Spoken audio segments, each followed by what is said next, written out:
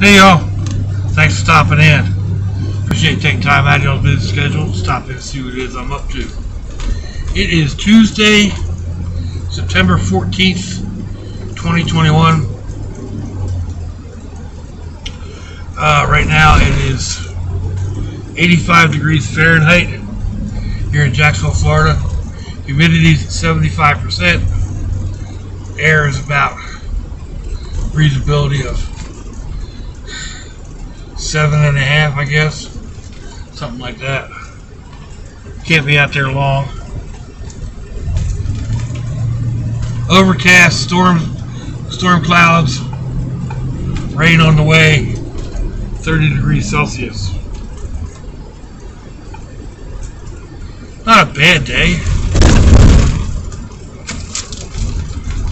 Temperatures are heading in the right direction.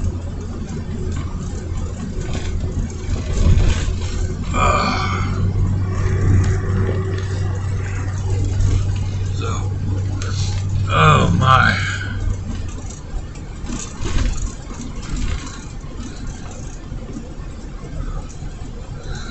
Ooh, A lot of stuff going on right right now, occupying my, my mind. Well, driving wise, all kinds of traffic was coming in. So, uh, trying to gather my thoughts up. What to what to discuss today.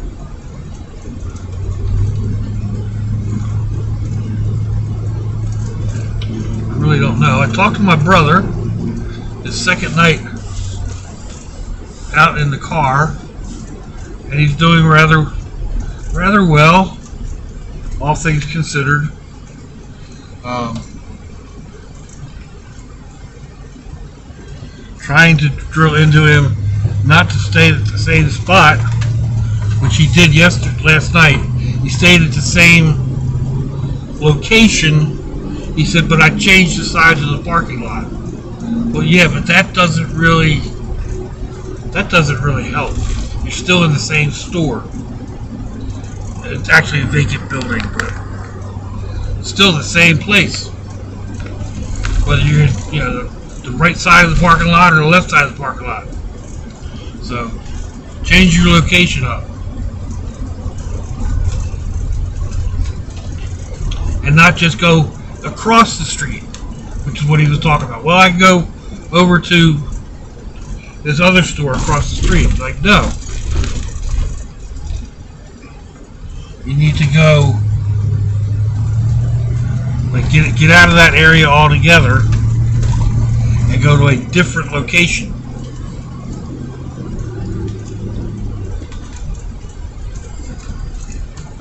So instead of going to, uh, well, we have we have a lot of numerous, uh, we have a lot of stores that have numerous locations. so instead of staying at Home Depot 1 two or three nights in a row. You go from Home Depot 1 to Home Depot 3 to Home Depot 5, you know, or like Walmart. Uh, from my house, I could be, see, one, two, three, four. I could be at four different Walmarts within less than 20 minutes. They're generally about 15 minutes apart. So, and there's over 14 of them in Jacksonville. That's a that's a nice rotation, you know. If all you did was spend the night at Walmart's, you wouldn't spend the night in two different Walmarts for 14 days. And it's not a whole lot of traveling. And you don't want to stay the whole time, excuse me, in the Walmart parking lot. Well, there's little little parks and other things, other areas in between each of them that you can stop and spend time in. And I was trying to explain some of that to him. I'm sure he'll get the hang of it. He just has to be out there for a while. He's done similar in the past, but not staying in one location, which is something I'm not 100% sure why he's doing it. I mean, okay, he's close to me and my kids and the grandkids, but there's nothing holding him like just here. He can he can fill up his gas tank and be in New Orleans by tomorrow, or you know wh- whatever. To get out and explore the country a little bit. Here comes the rain. Here comes the rain. And traffic is bouncing up. Uh,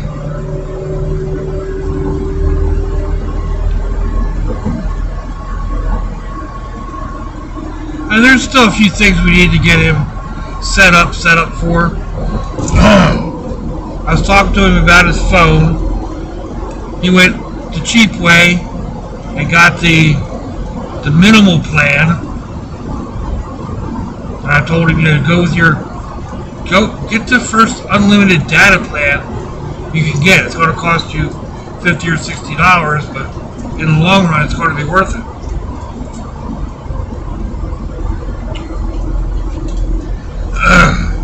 because the internet is pretty much lifeblood for somebody living on the road. It has made living on the road so much easier than it was 10 or 15 years ago. Because all you have to do is is ask whichever internet personality you have, you know, where the nearest um, Walmart is, or where the nearest gas station is, or just ask for free camping. And it'll, it'll give you a whole list of options. If you don't have that internet, you don't have those options. And that's what I keep trying to explain to him. The sites that I've given him to go to, you have to have internet. And I tried to explain how to go to places like McDonald's or Starbucks or even Home Depot. You go in and check your internet settings and you refresh them or whatever. And most of those places have Wi-Fi.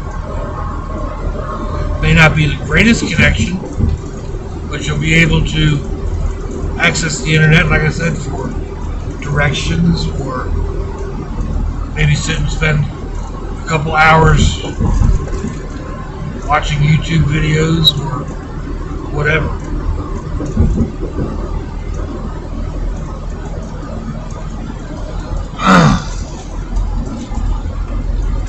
then we need to get him set up with a with a battery system of some kind. Whether it's just the small uh, power banks,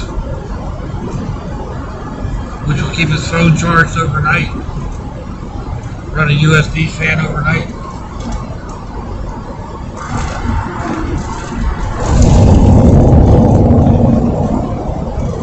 That's the cheap way to go. And, you know, of course, as soon as I mention that, that's the way he wants to go. it would be better to go with a full battery system, whether it's solar power or not.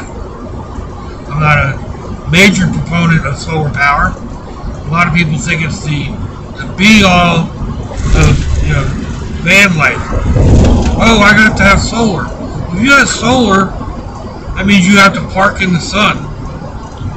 You know, down here in Florida, I don't like parking in the sun. Or what about overcast days? Or, you know, the weather, the winter setting in, if you're in some of the mid, mid or northern states, You don't get the sun the same way to keep your batteries charged up. What if it snows? You know, there's there's all kinds of reasons that solar is in my mind solar is a backup. It's actually a secondary backup for me. I prefer to charge off the vehicle's alternator system or plug into shore power. Then there would be solar power and a portable generator. Solar power and a portable generator kind of neck and neck in my book. I do prefer a powered generator. Because again, that can run at night. It can run during a rainstorm. It'll run, you know, if it's snowing. So, he doesn't need to get that deep into any of it with his little car.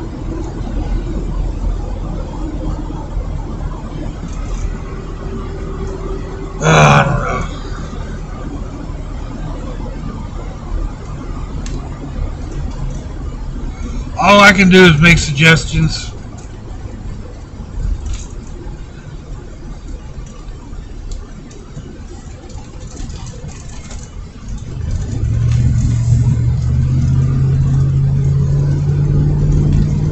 And uh, worry a little bit. That's just me. He's always been, always been the younger brother. He's always had uh, medical issues and stuff like that. So he's always been the one to be concerned about.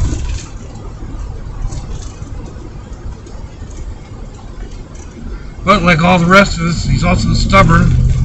He gets an idea in his head, and you can't really budge him from it. So. Uh,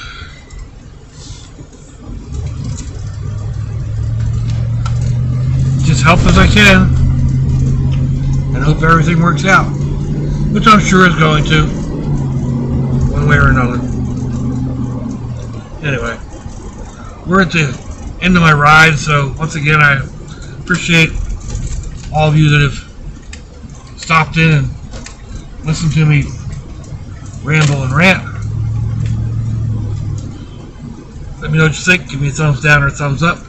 Leave me a comment wherever it is y'all leave comments on your internet access device of choice.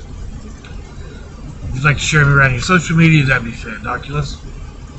If your loved ones are nearby, give them a kiss and a hug. If they're not, give them a call. Hit them up on Facebook. Let them know you think about them. Let them know you love them. We ain't promised tomorrow, people. We ain't promised our next breath. So I see y'all again. I hope you have a fandoculous day. Salachi, y'all. Ah.